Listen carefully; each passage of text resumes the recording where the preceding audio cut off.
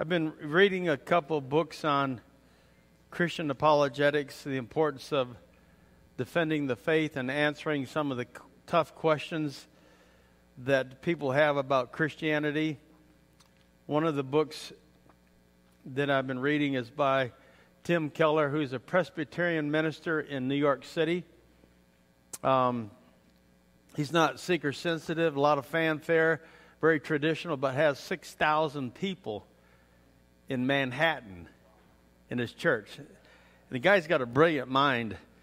Is um, written the book called The Reason for God, and he answers a lot of the tough questions. And I think it's important that that you know how to answer these questions. A lot of of us here don't entertain these questions, but people in the world do.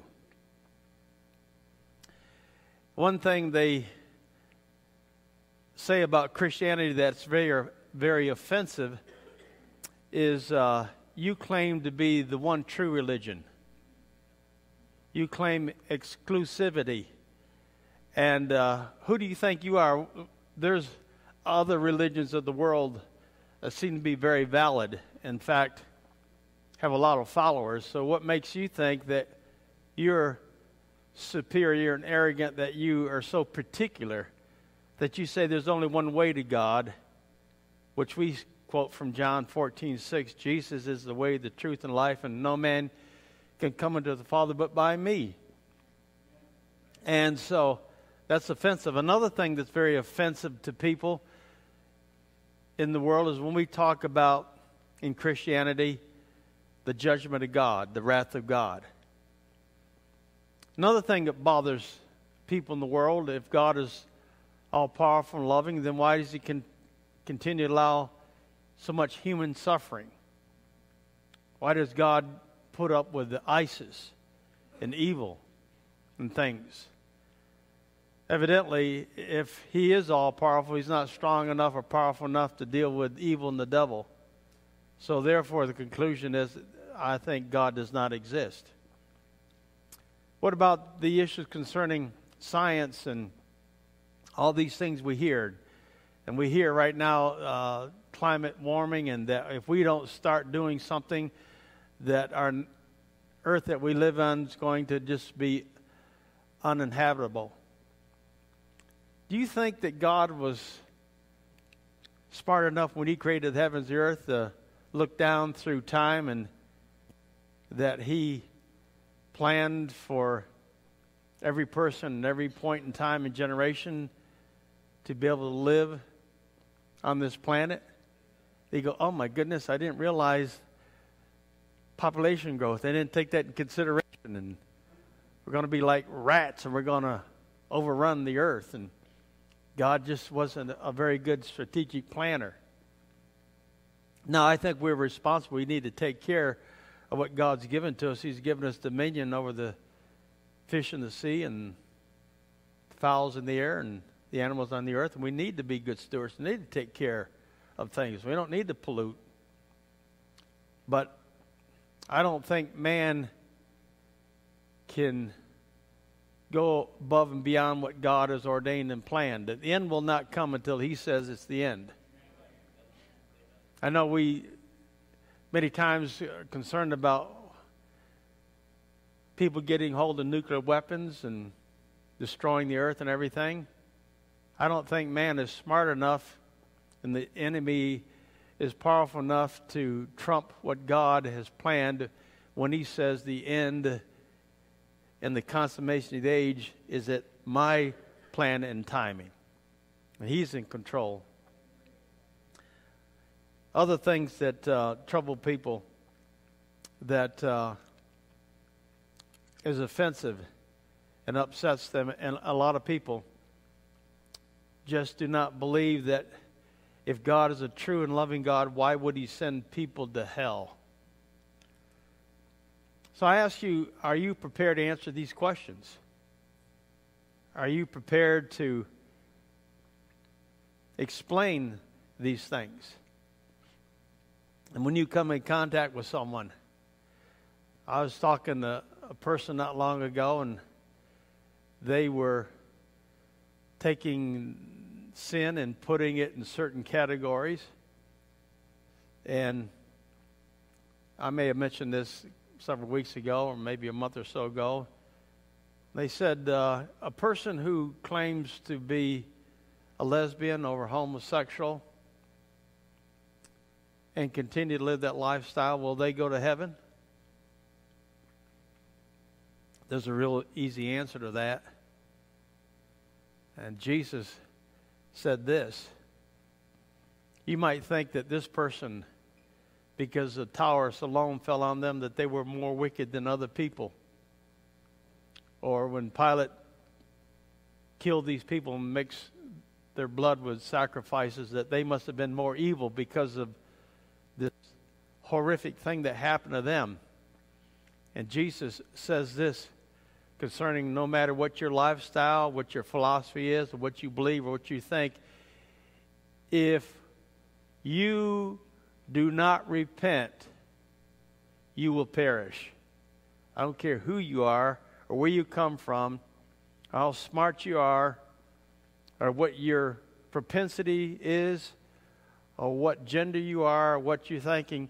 Doesn't matter if you're this or that or whatever all must repent and come to acknowledge Jesus Christ as Lord and Savior. If you don't repent, I don't care if you're a lesbian, homosexual, heterosexual, white, pink, green, or yellow, if you don't repent, you will perish. End of sentence. Does that make sense? Here's something I want to share with you today that um, in my introduction, just a quick sentence here. Tim Keller said in his book, uh, explains that most people in our culture believe that there is a God. A lot of people believe there is a God. And we can relate to Him and go to heaven through leading a good life. I find a lot of people think that way. I believe in God, a person says. And I believe that when my time comes, I, I can stand on my own two feet before Almighty God, and He can look at my life and see that I was a good person and I lived a good life. And therefore, He will accept me. A lot of people think that. I think there are a lot of people in the church I think a lot of people profess to be a Christian and they're still trying to earn their salvation through performance. And we, even as Christians, been born again, and washed by the blood of the Lamb, are still trying to,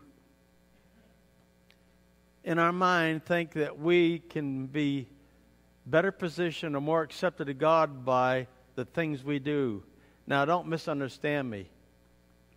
Don't take grace and abuse it and frustrate it by saying, well, I'm saved and redeemed. I can go live my life the way I want to. There's a lot of people who are falling into hyper grace and abusing the grace of God.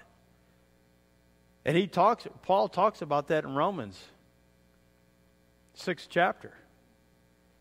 And he says, don't use God's grace as an excuse for your lousy, sinful lifestyle. And when we're born of God, spiritually, we are one with God, but we have a soul, a mind, a will, and emotions.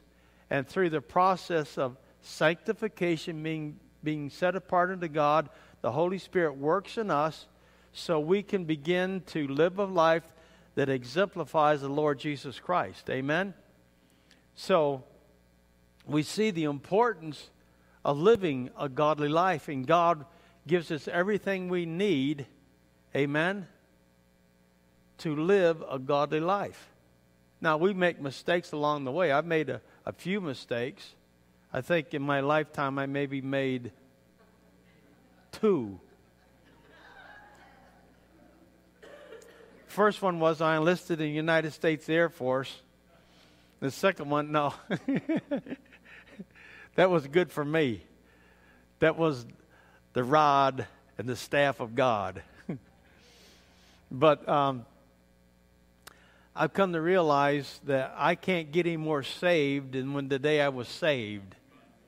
Amen. I cannot add or take away from my salvation.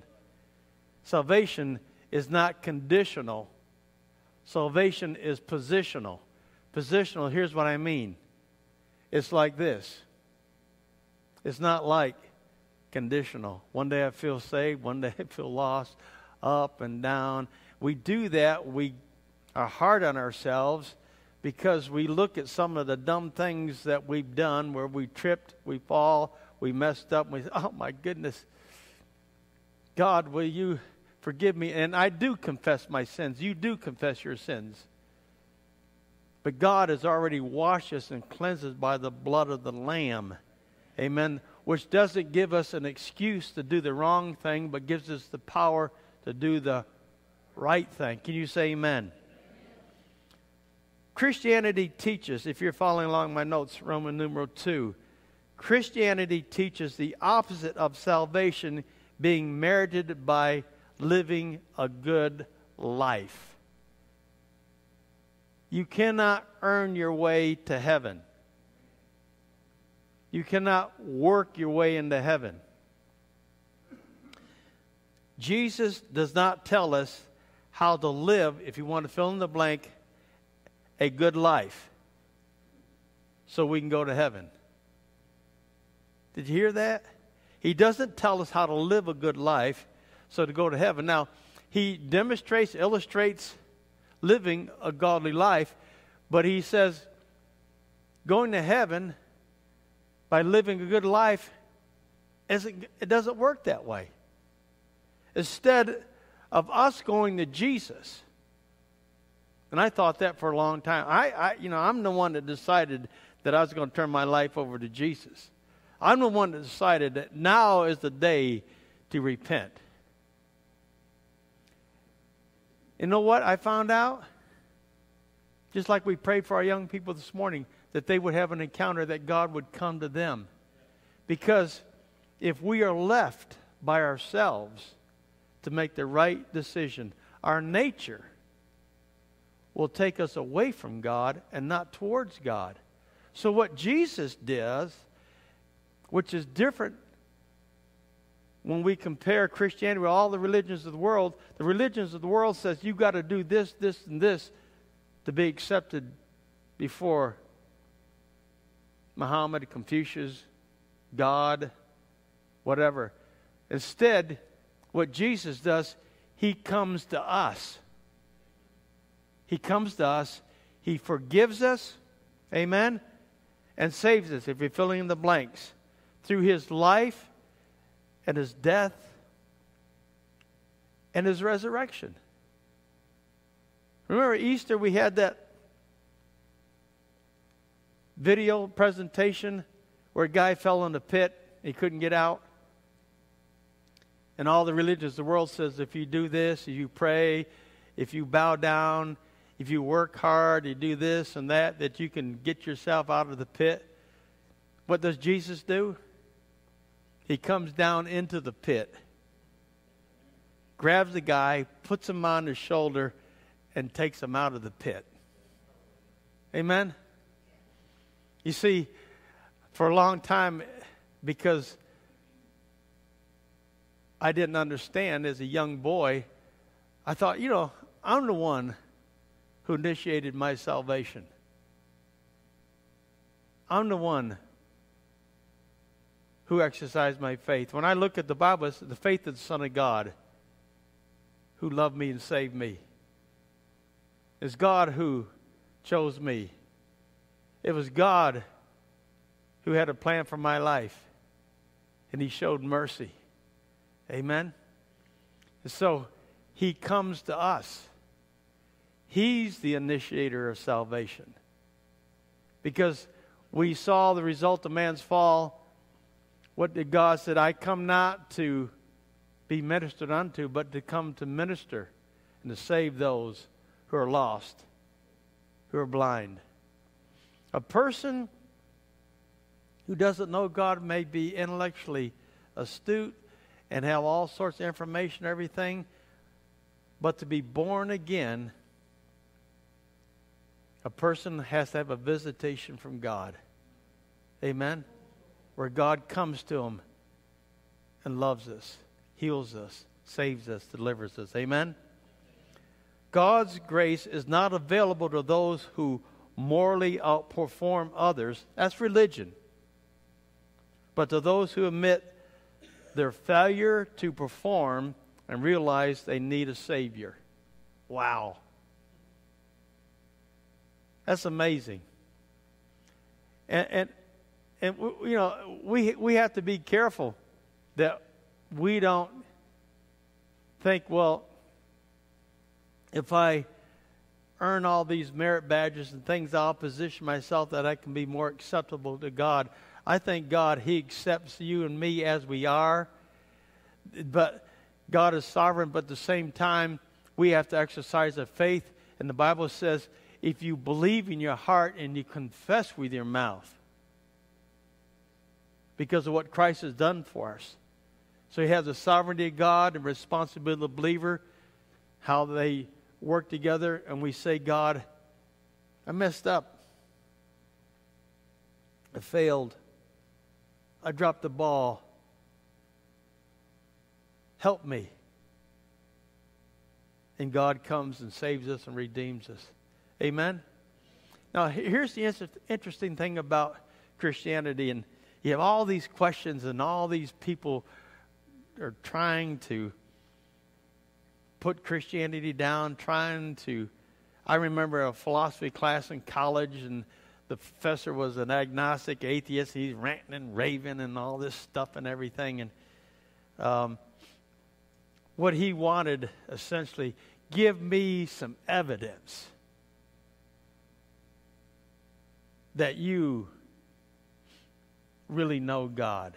Give me some empirical evidence. That word empirical means evidence based upon observation or experience. Prove to me that God exists.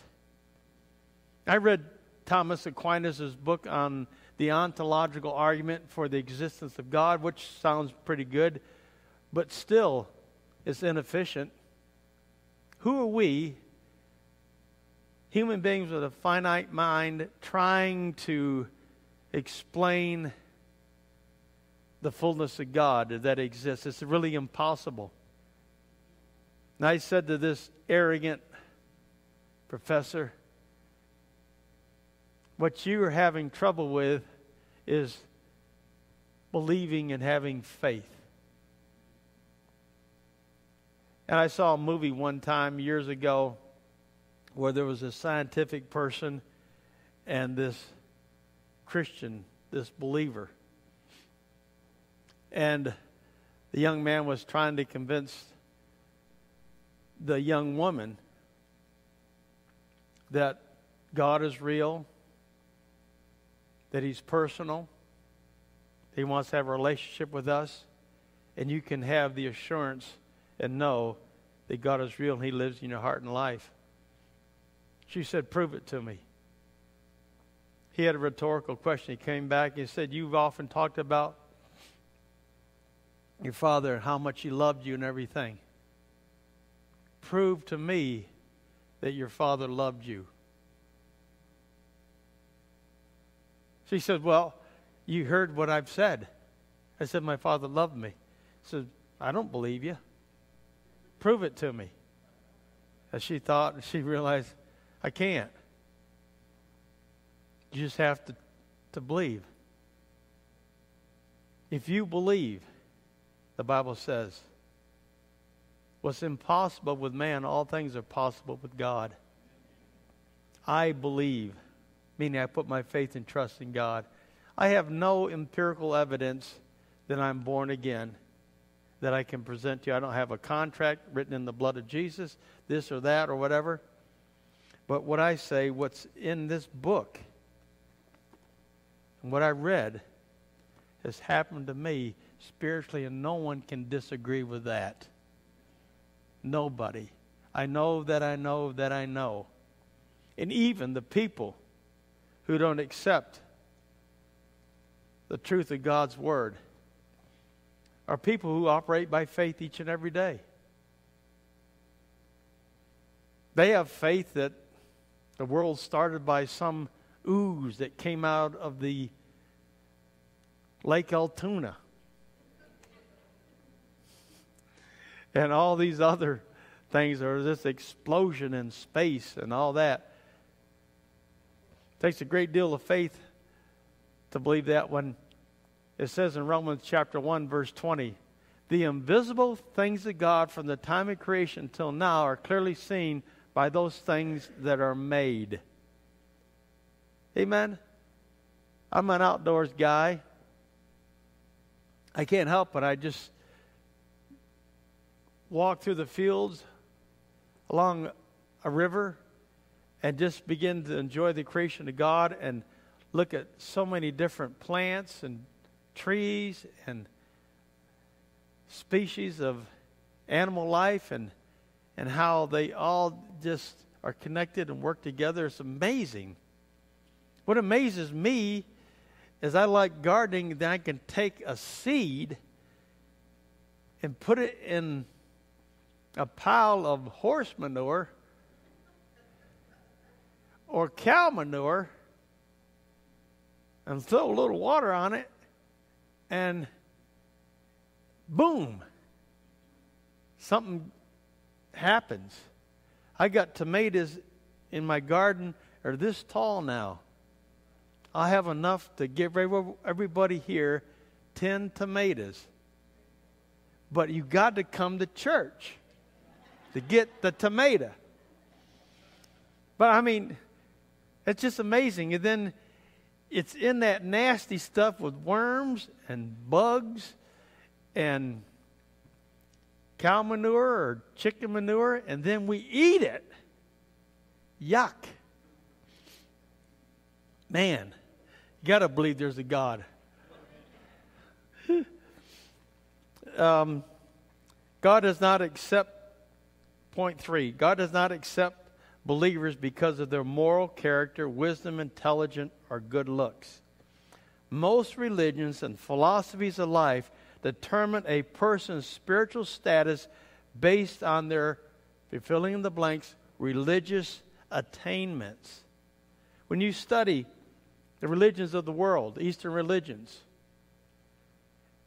and what it's presenting is if you want to be reincarnated to a higher place, if through Confucianism and, and all these things to be accepted before God, you got to morally perform and you got to produce yourself, position yourself so you can be accepted. Christianity is the complete opposite of that.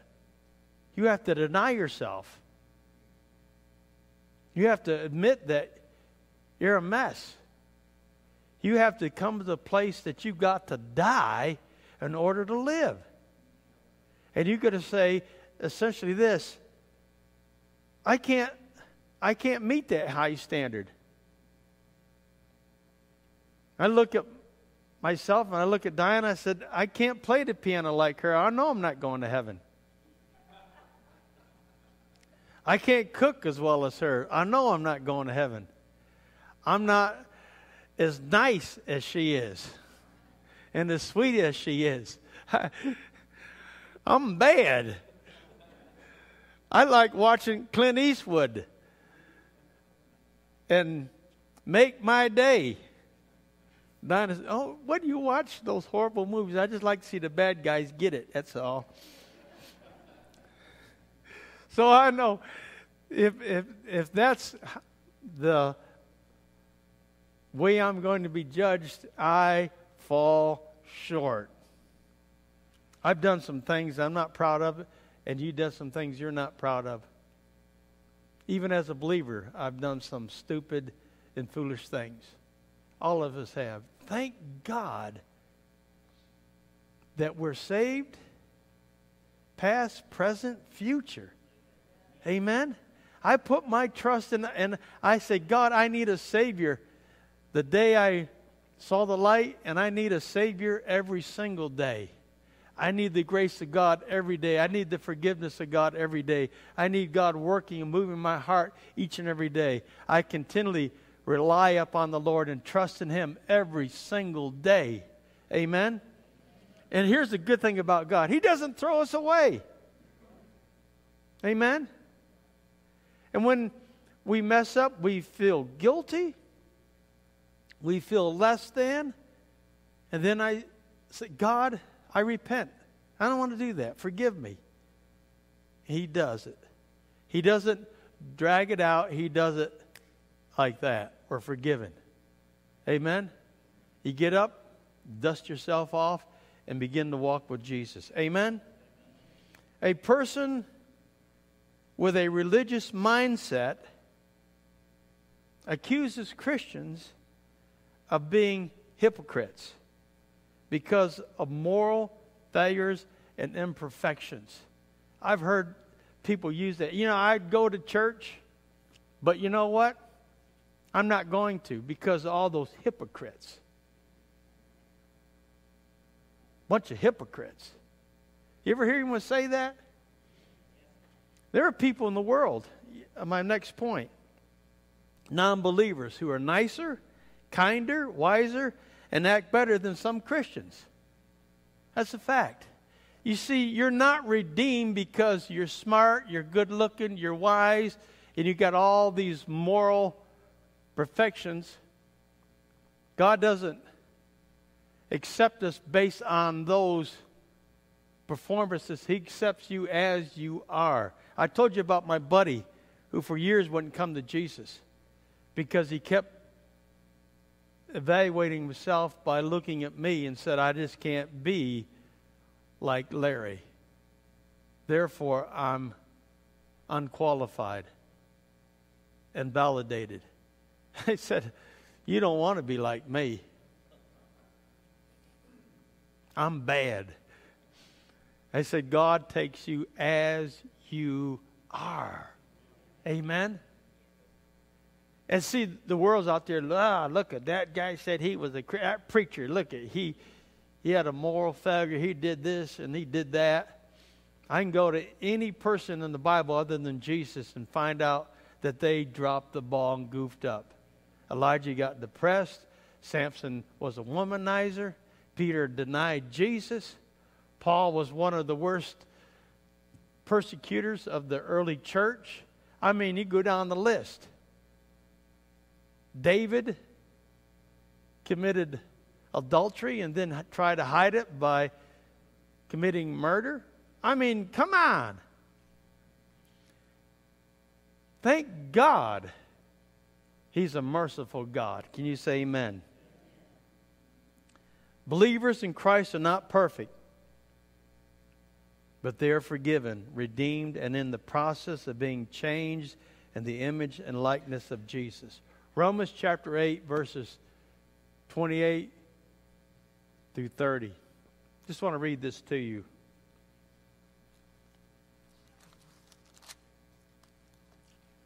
Romans chapter 8, verse 28. For we know that all things work together for good to them that love God, to them who are called according to his purpose. And for whom he did foreknow, he did also predestinate to be conformed to the image of his Son, that he might be the firstborn among many brethren. Moreover, whom he did predestinate, them he also called, and whom he called, them he justified, and whom he justified, them he also glorified. Called us, amen, justified us, and is going to glorify us, amen. And so when God looks at us, we're a piece of clay, and so what's happening, he's taking us and He's doing this in your life right now and my life. He doesn't give up on us. Even when we goof up, make mistakes, when we say things we shouldn't say or think things we shouldn't think, but He takes it and He squeezes us, twists us, bends us, and He's in the process of making us like His Son because He wants many sons and many daughters. Amen? So we're on a journey of being changed and transformed. It's called sanctification, being set apart unto God, a work of the Holy Spirit. So then you have people who don't know God, who don't have the understanding of what it means to be redeemed by the blood of the Lamb, and they'll point and say, You messed up. You say you're a Christian and you behave that way and you act that way. But I want to get to the point where I don't present any stumbling block that they can't use me to excuse themselves. But they see Christ in me. They see Christ in you, the hope of glory. Can you say amen? The Christian doctrine of salvation. Now, some of these things are not brand new to you, but it's important that we know these things, that we renew our minds, and that we can give good, sound, biblical answers. Amen? All people are created in the image of God, but everybody's not a child of God.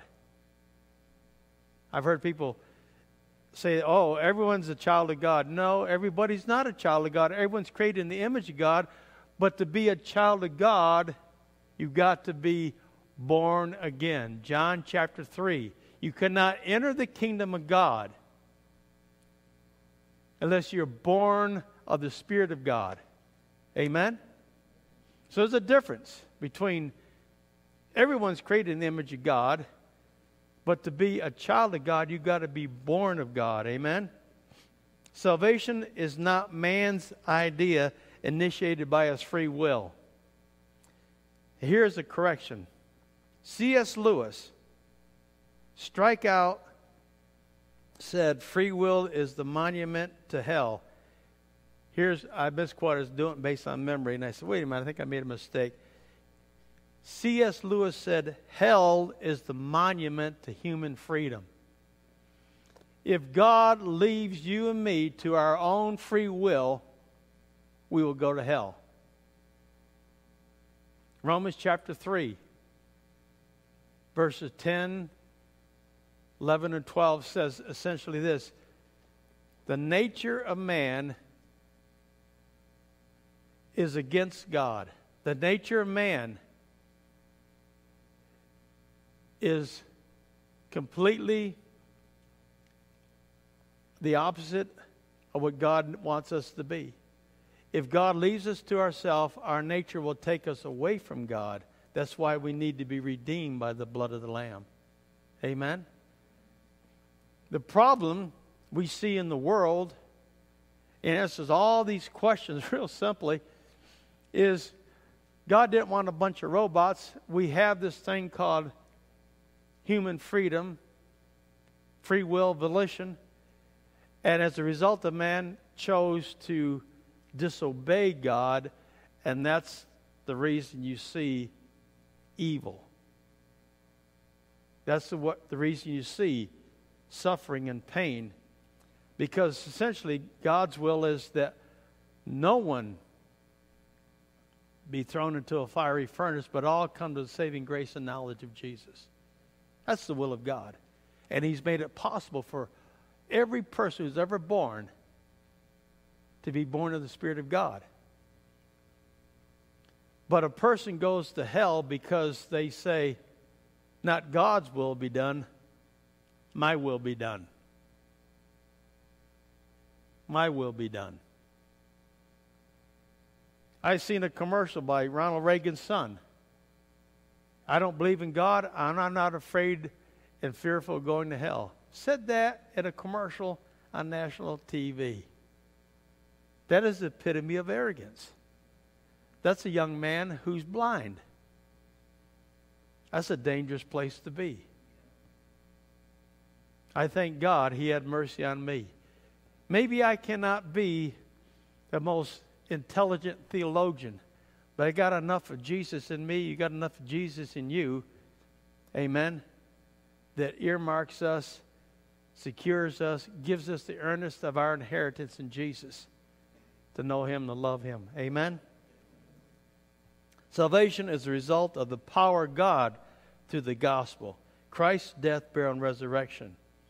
It's not our power. It's not our initiation. Romans 1:16, Jonah 2:29 very clearly tell us salvation is God's idea. Salvation is the power of God through the gospel. Amen. Salvation by God's love and power, which is grace through faith in the finished work of Jesus Christ. Very clearly, Ephesians 2 8 and 9, it's not by works. Titus 3 5 says the same thing. Not by works of righteousness which be done, but it's a renewing, regenerating work of the Holy Ghost. Amen? So I conclude with this. What about good works? I made the point that a person trying to earn favor, position himself to be accepted before God, cannot do it by living a good life. A lot of people think. I've had people say to me, you know what? You know, I, I, don't need to do this. I don't need to do that. God's going to look at my life. I'm a, I've been a good person. Been married to the same woman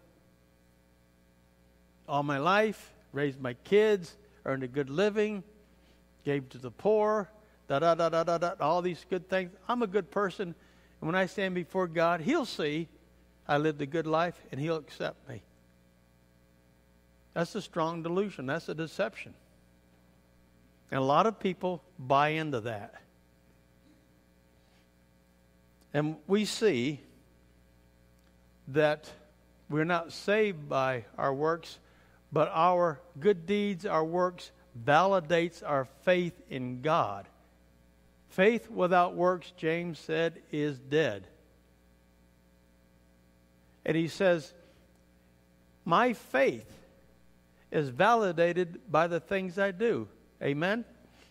Christians demonstrate their faith through their good works by producing fruit unto holiness. I already mentioned sanctification is the work of the Holy Spirit within the life of the believer, which changes our behavior and our conduct. Amen? Good works of self sacrifice, generosity, forgiving others, acts of kindness, loving, serving, edifying one another. All these things validate our faith in Jesus Christ. Amen? Now, I think some of the most important people in the kingdom of God, and not some of the great preachers necessarily, not discounting that, not some of the great theologians, and I'm saying not saying that's bad. But I look at what Jesus said, if you want to be great in my kingdom, where I reign and rule, my spiritual kingdom, he says you must be willing to be a servant. I was at a breakfast yesterday morning with other uh, pastors. And there's a guy there who comes early. He prepares the breakfast for us, puts out everything. He's not in our group, he's not a theologian necessarily. He's just a quiet guy behind the scenes, but he does it as unto the Lord. Great is your reward in heaven. Some of the people I think who are going to be kind of, I mean, excel, I guess I should say, in eternity are the people who are quiet, soft spoken, but they're faithfully day in, day out serving God.